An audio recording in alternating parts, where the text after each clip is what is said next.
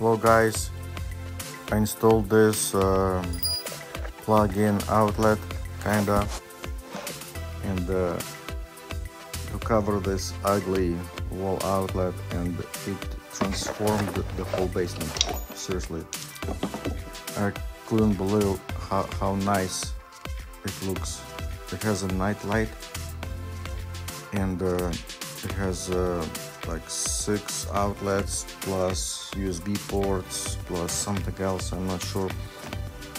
But it's a clean finish.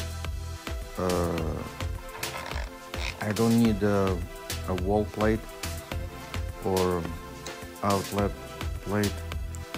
It's a clean finish. And uh, it works really nice.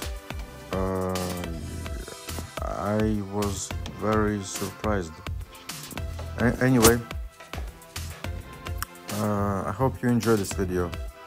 And uh, if you do please uh, click subscribe. We are trying to reach 1000 subscribers. It would help us. Uh, thank you a bunch. Catch you on the next one. Goodbye